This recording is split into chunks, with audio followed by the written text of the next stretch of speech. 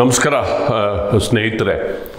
ಮಾಜಿ C M ಕುಮಾರಸ್ವಾಮಿಯವರು ಇವತ್ತು ಚೆನ್ನೈಗೆ ಹೆಚ್ಚಿನ ಚಿಕಿತ್ಸೆಗಾಗಿ ಹೋಗೋದಕ್ಕಿಂತ ಮೊದಲು ಹಳೆ ಮೈಸೂರು ಅಖಾಡದಲ್ಲಿ ಅಕ್ಷರಶಃ ಸಮರ ಘೋಷಣೆ ಮಾಡಿದರು. ಅಂದರೆ ಪ್ರಸಕ್ತ ಲೋಕಸಭಾ ಚುನಾವಣೆಯಲ್ಲಿ ಹಳೆ ಮೈಸೂರಲ್ಲಿ B J P J D S ಮೈತ್ರಿಕೂಟದ ವಿರುದ್ಧ ಕಾಂಗ್ರೆಸ್ ನಡೆಸಲಿರುವ ಸಮರ ಇಡೀ ಈ ಚುನಾವಣೆಯ ಹೈಲೈಟ್ ಎನ್ನುವಂತೆ ಅಕ್ಷರಶಃ ಶಿವಕುಮಾರ್ ಮತ್ತು ಸುರೇಶ್ ಬ್ರದರ್ಸ್ ವಿರುದ್ಧ ಸೆಡ್ಡು ಹೊಡೆದ್ರು, ತೊಡೆ ತಟ್ಟಿದ್ರು.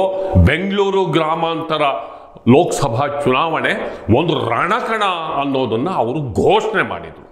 ಹಾಗಾದರೆ ಬೆಂಗಳೂರು ಗ್ರಾಮಾಂತರ ಅಥವಾ ಹಳೆ ಮೈಸೂರು ಯಾವ ರೀತಿಯಲ್ಲಿ ಪ್ರಾಮುಖ್ಯತೆಯನ್ನು ಪಡ್ಕೋತು? ಈ ಬಗ್ಗೆ ಕುಮಾರಸ್ವಾಮಿ ಅವರ ತಂತ್ರ ಏನು?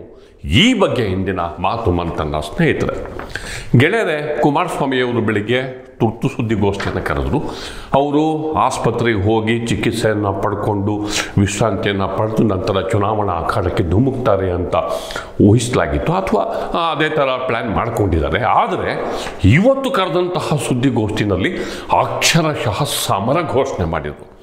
ಅಕ್ಷರಶಃ ಒಕ್ಕಲಿಗರ ಪಾಳೆಯದಲ್ಲಿ ನಡೀತಿರುವಂತಹ ಲೋಕಸಭಾ ಚುನಾವಣೆ ರಣರಂಗ ಆಗುತ್ತೆ. ಯುದ್ಧವೇ ನಡೆದು ಹೋಗುತ್ತೆ ಅನ್ನುವಂತಹ ಸುಳಿವನ್ನು ಅವರು ಕೊಟ್ಟರು ಅದರಲ್ಲೂ ಡಿ ಕೆ ಬ್ರದರ್ಸ್ ವಿರುದ್ಧ ಅವರು ಪ್ರಹಾರ ನಡೆಸಿದರು. ಕೆಂಡಾಮಂಡಲರಾದರು ಪಾಪ ಅದೆಂಥದ್ದು ಟ್ರಬಲ್ ಶೂಟರು, ಹಿಂದೆ ನಾನು ಸರ್ಕಾರ ನಡೆಸಬೇಕಾದ್ರೆ. ಟ್ರಬಲ್ ಶೂಟರ್ ಅಂತ ಹೇಳಿರೋರಲ್ಲ ನೀವು. ಪಾಪ ನಮ್ಮ ಪಕ್ಷದ ಬಗ್ಗೆ ಭಾಳ ಅನುಕಂಪ ಅವರಿಗೆ. ಭಾಳ ತ್ಯಾಗ ಮಾಡಿ ಕುಮಾರಣ್ಣನ್ನು ಅಧಿಕಾರ ಉಳ್ಸೋಕ್ಕೆ ಪ್ರಯತ್ನ ಪಟ್ಟರೆಲ್ಲ ಇವರು. ಭಾಳ ಶ್ರಮಪಟ್ಟು ಮಂಡ್ಯದಲ್ಲಿ ನಿಖಿಲ್ ಕುಮಾರಸ್ವಾಮಿನ ಗೆಲ್ಸೋಕೆ ದುಡಿಮೆ ಮಾಡಿದಾರೆ ಇವರೆಲ್ಲ. ನನ್ನ ಕಾರ್ಯಕರ್ತನ ಉಳಿಸಿದಾರೆ ಇವರು. ಇವತ್ತೇನೋ ಹೇಳಿಕೆಯನ್ನು ಗಮನಿಸಿದ್ದೆ ನಾನು. ನಾನು ಮೊದಲೇ ಹೇಳಿದ್ದೆ, ಅಯ್ಯೋ ಪಾಪ, ಈ ಥರ ಆಗ್ತದೆ ಅಂತ, ಲಿಸ್ಟ್ ಬೇಗ ಆಗುತ್ತೆ ಅಂತ ನಾನು ನಿರೀಕ್ಷೆ ಇಟ್ಟಿರಲಿ ಏನಾಗಿದೆ? ಶಿವಕುಮಾರ್ ಅವ್ರನ್ನ ಕೇಳಲಿಕ್ಕೆ ಬಯಸ್ತೀನಿ. ಇವತ್ತು ನನ್ನ ಪಕ್ಷದ ಪರಿಸ್ಥಿತಿ ಬೆಂಗಳೂರು ಗ್ರಾಮಾಂತರ ಜಿಲ್ಲೆಯಲ್ಲಿ ಪಾರ್ಲಿಮೆಂಟ್ ಕ್ಷೇತ್ರದಲ್ಲಿ ಈ ಹೊಂದಾಣಿಕೆ ನಾನು ಮಾಡ್ತಕ್ಕಂಥದ್ದಕ್ಕೆ ತೀರ್ಮಾನ ಮಾಡಲಿಕ್ಕೆ ಮೂಲ ಕಾರಣ ನೀವು, ಮೂಲ ಕಾರಣ ನೀವು ಎರಡು ಸಾವಿರದ ಹದಿನೆಂಟು ಸರ್ಕಾರ ಮಾಡಬೇಕಾದ್ರೆ ಕುಮಾರಸ್ವಾಮಿಯವರು ಐದು ವರ್ಷ ಇರಬೇಕು. ಐದು ವರ್ಷ ಬೆಂಬಲ ಅಂತ ಹೇಳಿ ನಾವು ಕೊಟ್ಟಿದ್ವು. ಪದೇ ಪದೇ ನಾನು ಪಟ್ ಶ್ರಮ ಇದೆಯಲ್ಲ ಅವತ್ತು ಸರ್ಕಾರ ನಡೆಸಬೇಕಾದ್ರೆ. ಯಾರ್ಯಾರಾದರೂ ದುರುಪಯೋಗ ಬಳಸ್ಕೊಂಡಿದ್ದೀರಿ? ಉಪಯೋಗ ಅಲ್ಲ. ದುರ್ಬಳಕೆ ಮಾಡ್ಕೊಂಡಿದ್ದೀರಿ ನೀವು. ನನ್ನನ್ನು ಪದೇ ಪದೇ ಯಾವುದು ವೆಸ್ಟ್ ಎಂಡ್ ಹೋಟ್ಲಲ್ಲಿದ್ದ ವೆಸ್ಟ್ ಎಂಡ್ ಹೋಟ್ಲಲ್ಲಿದ್ದ ಚೆನ್ನಾಗಿ ಸಿಗ್ತಿರಲಿಲ್ಲ. ಪದೇ ಪದೇ ಹೇಳ್ತೀರಿ. ನಾನು ವೆಸ್ಟ್ ಎಂಡ್ ಹೋಟ್ಲಲ್ಲಿ ಜನಗಳು ಸಿಗದೇ ಇದ್ದಿದ್ದರೆ ಸಂಪರ್ಕದಲ್ಲಿ. ನೂರ ಒಂಬತ್ತು ಕೋಟಿ ಹದಿನಾಲ್ಕು ತಿಂಗಳಲ್ಲಿ ನಾಡಿನ ಆರೋಗ್ಯದ ಒಂದು ಸಮಸ್ಯೆಗೆ ಒಳಗಾದಂಥ ಬಡ ಕುಟುಂಬಗಳಿಗೆ ಪರಿಹಾರ ಕೊಡ್ಲಿಕ್ಕೆ ಸಾಧ್ಯ ಆಯ್ತಾ ನಾನು? ಪದೇ ಪದೇ ನನ್ನ ಮೇಲೆ ಕ್ಯಾರೆಕ್ಟರ್ ಅಸೋಸಿಯೇಷನ್ ಮಾಡ್ಕೊಂಬಂದಿದ್ದೀರಿ ನಾನು ವ್ಯಕ್ತಿತ್ವ ಪ್ರಶ್ನೆ ಮಾಡಿದ್ದೀರಿ ನೀವು, ನನ್ನ ಹದಿನಾಲ್ಕು ತಿಂಗಳ ಆಡಳಿತದ ಬಗ್ಗೆ. ಏನು ದೊಡ್ಡ ಅಪರಾಧ ಮಾಡಿದೆ ನಾನು ಅನ್ನೋ ರೀತಿಯಲ್ಲಿ. ಅಂದರೆ ಒಂದು ರೀತಿಯಲ್ಲಿ ರಣವೀಳ್ಯವನ್ನು ಕೊಟ್ಟರು ಅನ್ನೋ ಶಬ್ದವನ್ನು ಇಲ್ಲಿ ಹೇಳಲೇಬೇಕಾಗುತ್ತೆ. ಅವರ ಮಾತಿನ ವೈಖರಿ ಆಗಿತ್ತು. ನಿನ್ನೆ ಭಾರತೀಯ ಜನತಾ ಪಕ್ಷದ ಜೊತೆಗಿನ ಆಂತರಿಕ ಗೊಂದಲದ ಬಗ್ಗೆ ಮಾತಾಡಿ ಒಂದು ರೀತಿಯಲ್ಲಿ ಅಚ್ಚರಿಗೆ ಕಾರಣರಾದಂತಹ ಕುಮಾರಸ್ವಾಮಿ ಅವರು, ಇವತ್ತು ಇಲ್ಲ ಕಮ್ಯುನಿಕೇಷನ್ ಗ್ಯಾಪ್ ಅಷ್ಟೇ, ವಿಶ್ವಾಸದ ಕೊರತೆ ಇಲ್ಲ ಅಂತ ಅದನ್ನು ಕ್ಲಾರಿಫಿಕೇಶನ್ ಕೊಟ್ಟರು ಬದಲಿಗೆ ಹಳೆ ಮೈಸೂರಲ್ಲಿ ಕಾಂಗ್ರೆಸ್ಸಿಗೆ ರಣವೀಳ್ಯವನ್ನು ಕೊಟ್ಟರು ಅದರಲ್ಲೂ ಬೆಂಗಳೂರು ಗ್ರಾಮಾಂತರ ಲೋಕಸಭಾ ಕ್ಷೇತ್ರದಲ್ಲಿ ಬಿಜೆಪಿಯ ಅಭ್ಯರ್ಥಿಯಾಗಿ ಕುಮಾರಸ್ವಾಮಿ ಅವರ ಭಾವ ಪ್ರಖ್ಯಾತ ಹೃದಯ ತಜ್ಞ ಡಾಕ್ಟರ್ ಸಿ ಎನ್ ಮಂಜುನಾಥ್ ಅವರು ಅಖಾಡಕ್ಕೆ ಧುಮುಕ್ತಿರುವ ಹಿನ್ನೆಲೆಯಲ್ಲಿ? ಅದರಲ್ಲೂ ಡಿ ಕೆ ಶಿವಕುಮಾರ್ ಅವರ ಸಹೋದರ ಡಿ ಕೆ ಸುರೇಶ್ ಅವರನ್ನು ಅವರು ಮುಖಾಮುಖಿಯಾಗಿ ಎದುರಿಸ್ತಿರುವಂತಹ ಹಿನ್ನೆಲೆಯಲ್ಲಿ ಇವತ್ತು, ಆ, ಇಡೀ, ಆ, ಚುನಾವಣಾ ಕಣಕ್ಕೆ ಕುಮಾರಸ್ವಾಮಿ ಅವರ ಸ್ಟೇಟ್ಮೆಂಟು ಒಂದು ರೀತಿಯಲ್ಲಿ ಕಾವೇರಿದ ರಂಗನ್ನು ತಂದುಕೊಡ್ತು. ರೈತರಿಗೆ ರಕ್ಷಣೆ ಕೊಡಲಿಕ್ಕೆ, ಬನ್ನಿ ಕಾಂಗ್ರೆಸ್ಗೆ ಬನ್ನಿ ಕಾಂಗ್ರೆಸ್ಗೆ ಅಂತ ಏನು ಶಿವಕುಮಾರ್ ಹೇಳ್ತಾ ಇದ್ದೀರಿ? ನನ್ನ ಕಾರ್ಯಕರ್ತರು ನಿಮ್ಮಿಂದ ರಕ್ಷಣೆ ಪಡೀತಕ್ಕಂಥ ದು ದುಸ್ಥಿತಿಗೆ ಬಂದಿಲ್ಲ. ನಿಮ್ಮನ್ನು ನಂಬಿ ಅವತ್ತು ಸರ್ಕಾರದಲ್ಲಿ ನಾವು ಜೊತೆಗೂಡಿ ಕೆಲಸ ಮಾಡಲಿಕ್ಕೆ ಕೈ ಜೋಡಿಸಿದಾಗ ಯಾವ ರೀತಿ ನಡೆಸ್ಕೊಂಡಿದ್ದೀರಿ ಗೊತ್ತಿದೆ. ನನಗೂ ಗೊತ್ತಿದೆ. ಇಪ್ಪತ್ತು ತಿಂಗಳು ನಾನು ಬಿ ಜೆ ಪಿ ಜೊತೆ ಸರ್ಕಾರ ಮಾಡಿದಾಗ ಈ ರಾಜ್ಯದಲ್ಲಿ ಒಬ್ಬ ಕುಮಾರಸ್ವಾಮಿ, ಒಬ್ಬ ಸಾಮಾನ್ಯ ವ್ಯಕ್ತಿ ಇವತ್ತು ಹದಿನೈದು, ಹದಿನೆಂಟು ವರ್ಷಗಳಾದರೂ ನನ್ನ ಇಪ್ಪತ್ತು ತಿಂಗಳ ಬಿ ಜೆ ಪಿಯ ಜೊತೆಗೂಡಿ ಸರ್ಕಾರ ಮಾಡಿದಂಥದ್ದನ್ನು ನನಗೆ ಆ ಶಕ್ತಿಯನ್ನು ತುಂಬಲಿಕ್ಕೆ ಬಿ ಜೆ ಪಿ ಪಕ್ಷದ ಪ್ರಮುಖವಾದಂಥ ಅವತ್ತಿನ ತೀರ್ಮಾನಗಳೇನಿದೆ ನನ್ನನ್ನು ಮುಖ್ಯಮಂತ್ರಿ ಮಾಡಲಿಕ್ಕೆ. ಇವತ್ತು ನಾನು ಬದುಕಿರತಕ್ಕಂಥದ್ದು, ನನ್ನ ಪಕ್ಷ ಉಳಿಸ್ಕೊಂಡಿದ್ದು, ಆ ಶಕ್ತಿಯನ್ನು ಅವತ್ತು ಬಿ ಜೆ ಪಿಯ ಮೈತ್ರಿ ಸರ್ಕಾರ ಮಾಡಿದ್ರಿಂದ ಉಳಿಸ್ಕೊಂಡಿದ್ದೇನೆ. ನಿಮ್ಮ ಜೊತೆ ಸರ್ಕಾರ ಮಾಡಿ, ಹದಿನಾಲ್ಕು ತಿಂಗಳು. ನನ್ನ ಪಕ್ಷ ನಾಶ ಮಾಡಲಿಕ್ಕೆ ಕೊಟ್ರಿ ನೀವು. ಹೊರನೋಟಕ್ಕೆ ಕುಮಾರಸ್ವಾಮಿ ಪರವಾಗಿ ಏನು ಡಿ ಕೆ ಶಿವಕುಮಾರ್ ಎಷ್ಟಪ್ಪ ಬೆಂತ ಬೆಂಗ ಬೆಂಬಲ ಬೆಂಗಾವಲಾಗಿ ನಿಂತಿದ್ದಾರೆ. Trouble shooter. ಕನಕಪುರದ ಬಂಡೆ ಏಳಿಸ್ಕೊಂಡ್ರಿ, ಬರೆಸ್ಕೊಂಡ್ರಿ, ಹಣ ಕೊಟ್ಟು. ನನ್ನನ್ನು ಮುಗಿಸ್ಲಿಕ್ಕೆ ಹಂತ ಹಂತವಾಗಿ ಯಾವ ರೀತಿ ನಡೆಸ್ಕೊಂಡಿದ್ದೀರಿ?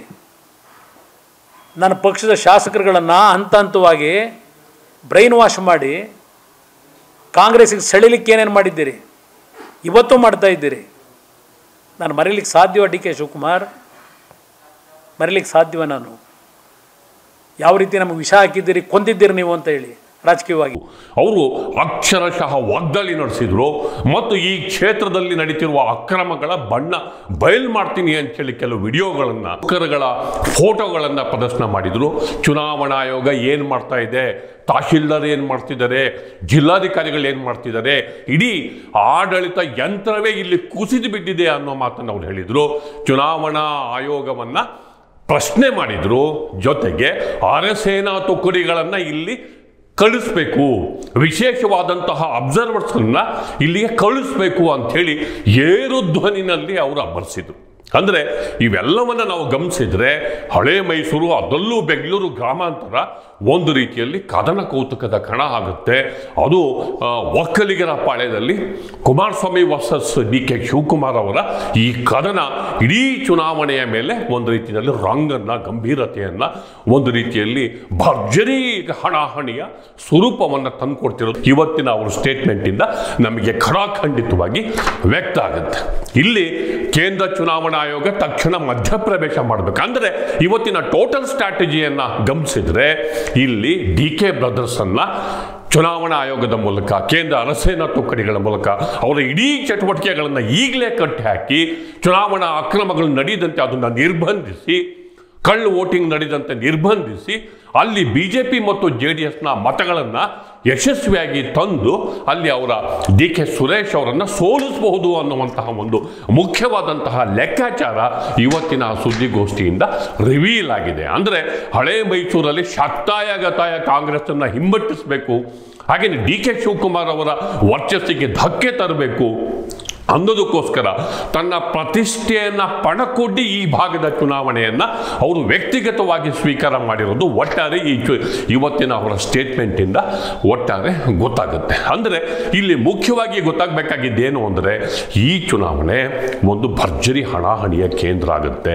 ಅದರಲ್ಲೂ ಒಕ್ಕಲಿಗರ ಪಾಳ್ಯದಲ್ಲಿ ಒಕ್ಕಲಿಗರ ಓಟು ಯಾರಿಗೆ, ಒಕ್ಕಲಿಗರ ಬೆಂಬಲ ಯಾರಿಗೆ, ಒಕ್ಕಲಿಗರ ನಾಯಕತ್ವ ಯಾರಿಗೆ ಅನ್ನುವಂತಹ ವಿಚಾರದ ಮೇಲೆ ಲೋಕಸಭಾ ಚುನಾವಣೆ ಹಣಾಹಣಿ ನಡೀತಿರೋದು ನಮಗೆ ಮೇಲ್ನೋಟಕ್ಕೆ ಈ ಒಂದು ಸ್ಟೇಟ್ಮೆಂಟ್ಸ್ಗಳಿಂದ ಈ ಒಂದು ಕಾಳಗದಿಂದ. ಇನ್ನೂ ಇನ್ನೂ ನಾಮಪತ್ರ ಸಲ್ಲಿಕೆ ಆರಂಭ ಆಗಿಲ್ಲ. ಈಗ ಹಳೆ ಮೈಸೂರಲ್ಲಿ, ಅದಲ್ಲೂ ಬೆಂಗಳೂರು ಗ್ರಾಮಾಂತರದಲ್ಲಿ ಭರ್ಜರಿ ಜಟಾಪಟ್ಟಿ ಆರಂಭ ಆಗಿರೋದು ಇದರಿಂದ ವ್ಯಕ್ತ ಆಗುತ್ತೆ. ಅದು ಶಿವಕುಮಾರ್ ಕೂಡ ಸುಮ್ಮನೆ ಕೂತಿಲ್ಲ. ಅವರು ಕೂಡ ವ್ಯಂಗ್ಯಾಸ್ತ್ರ ಪ್ರಹಾರವನ್ನು ನಡೆಸಿದ್ದಾರೆ. ಕುಮಾರಸ್ವಾಮಿ ಅವರು ಜೆ ಡಿ ಎಸ್ ಇಂದ ಅವರ ಭಾವ ಹಾಗೆ ಪ್ರಖ್ಯಾತ ವೈದ್ಯ ಡಾಕ್ಟರ್ ಸಿ ಎನ್ ಮಂಜುನಾಥ್ ಅವರನ್ನು ಕಣಕ್ಕಿಳಿಸಿದ್ದೇ ಒಂದು ರೀತಿಯಲ್ಲಿ ಆತ್ಮಹತ್ಯಾತ್ಮಕ ಕ್ರಮ ಅಂತ ಅವರ ದೃಷ್ಟಿನಲ್ಲಿ ಅವರು ತನ್ನದೇ ಆದ ವಿಶ್ಲೇಷಣೆಯನ್ನು ಮುಂದೂಡಿದ್ದಾರೆ. ಈಗ ಅವರ ಪ್ರತಿಕ್ರಿಯೆಯನ್ನು ನೋಡೋಣ. ಇದು ನಮಗೆ ಮೊದಲಿಂದನೇ ಇದು ಗೊತ್ತಿರೋ ವಿಚಾರನೇ. ನನಗೆ ಯಾವಾಗ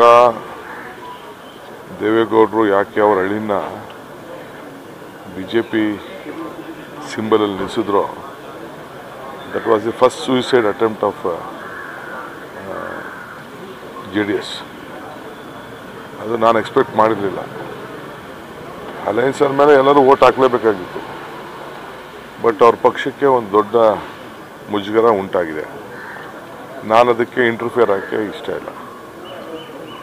ಅವರು ನಾನು ಅವ್ರದ್ದು ಸಿಟ್ಟಿಂಗ್ ಎಂ ಎಲ್ ಎಗಳಿದ್ದಾರೆ ಸಿಟ್ಟಿಂಗ್ ಎಂ ಪಿಗಳಿದ್ದಾರೆ ಕೆಲವು ಕಡೆ ಎರಡೆರಡು ಕ್ಷೇತ್ರದಲ್ಲಿದ್ದರು ಕೆಲವು ಕಡೆ ಒಂದೊಂದು ಕ್ಷೇತ್ರದಲ್ಲಿದ್ದರು ಅವರ ಸ್ಟ್ರೆಂತು ಅವ್ರಿಗೆ ಬೇಕಾಗಿತ್ತು. ಬಟ್ ಬಿ ಜೆ ಪಿ ಸ್ಟೈಲೇ ಅದು. ನೀವೇನು ಇದು ಒಂದೇ ರಾಜ್ಯದಲ್ಲ, ಎಲ್ಲ ರಾಜ್ಯದಲ್ಲೂ ಕೂಡ ಈ ರೀತಿ ನಡ್ಕೊಂಡು ಬರ್ತಾ ಇದೆ. ಸೊ ನಾನೇನು ಕಾಮೆಂಟ್ ಮಾಡೋಕ್ಕೆ ಹೋಗಲ್ಲ. ನಾನು, ಯಾಕೆಂದ್ರೆ ಅವ್ರ ಇಂಟರ್ನಲ್ ಪಾರ್ಟಿ ವಿಚಾರ ನಾನು ಇಂಟರ್ಫಿಯರ್ ಆಗೋದು ನಮಗೆ ಸರಿ ಇಲ್ಲ. ಅವ್ರವ್ರ ಪಾರ್ಟಿದು ಅವ್ರವ್ರ ತೀರ್ಮಾನ ಮಾಡ್ಕೊಳ್ಳಿ. ಇಷ್ಟು ಮಾತ್ರ ನಾನು ಸಾಮಾನ್ಯವಾಗಿ ಬೆಂಗಳೂರು ಗ್ರಾಮಾಂತರಕ್ಕೆ ಬಂದಾಗ ಅದು ಶಿವಕುಮಾರ್ ಮತ್ತು ಡಿ ಕೆ ಸುರೇಶ್ ಅವರ ಭದ್ರಕೋಟೆ ಆಗಿದೆ. ಈ ಭದ್ರಕೋಟೆಗೆ ಪ್ರಖ್ಯಾತ ವೈದ್ಯ ಡಾಕ್ಟರ್ ಮಂಜುನಾಥ್ ಅವರ ಎಂಟ್ರಿ. ಇದೀಗ ಆ ಒಂದು ಕ್ಷೇತ್ರದ ಹಣಾಹಣಿಗೆ ಭಾರಿ, ಹಿಂದೆಂದೂ ಇಲ್ಲದಂತಹ ಗಂಭೀರತೆಯನ್ನು ಹಿಂದೆಂದೂ ಇಲ್ಲದಂತಹ ಕಾವೇರಿದ ವಾತಾವರಣವನ್ನು ತಂದುಕೊಟ್ಟಿದೆ. ಈ ಕ್ಷೇತ್ರದ ಮತದಾರರ ಪ್ರತಿಕ್ರಿಯೆ ಹೇಗಿದೆ ಅನ್ನೋದು ಅತ್ಯಂತ ಕುತೂಹಲಕಾರಿಯಾಗಿದೆ. ಜೊತೆಗೆ ಈ ಗೌಡ್ರ ಗದ್ದಲ, ಈ ಒಕ್ಕಲಿಗರ ಸಾಮ್ರಾಜ್ಯದಲ್ಲಿ ನಡೆಯುವಂತಹ ಭಾರೀ ಜಟಾಪಟಿ, ಕಾಳಗ ಬರುವ ದಿನಗಳಲ್ಲಿ ರಾಷ್ಟ್ರದ ಗಮನ ಸೆಳೆಯುವ ಸಾಧ್ಯತೆ ಇರುವುದು ಅಲ್ಲೆಲ್ಲ ಲಕ್ಷಣಗಳು ನಮಗೆ ಕಂಡು ಬರ್ತಿದೆ ಚುನಾವಣೆಯಲ್ಲಿ ಮತದಾರರು ಯಾರ ಕಡೆ ಒಲಿತಾನೋ ಕಾದ್ ನೋಡೋಣ ಎನ್ನುವ ಪ್ರಶ್ನೆಯ ಜೊತೆ ನಾನು ಮಾತನ್ನು ಮುಗಿಸ್ತಿದ್ದೇನೆ. ದಯವಿಟ್ಟು ದಿ ಪೋಸ್ಟ್ ನೋಡಿ, ಲೈಕ್ ಮಾಡಿ, ಶೇರ್ ಮಾಡಿ, ಸಬ್ಸ್ಕ್ರೈಬ್ ಮಾಡೋದಕ್ಕೆ ಮರಿಬೇಡಿ ಗೆಳೆಯರೆ. ನಮಸ್ಕಾರ.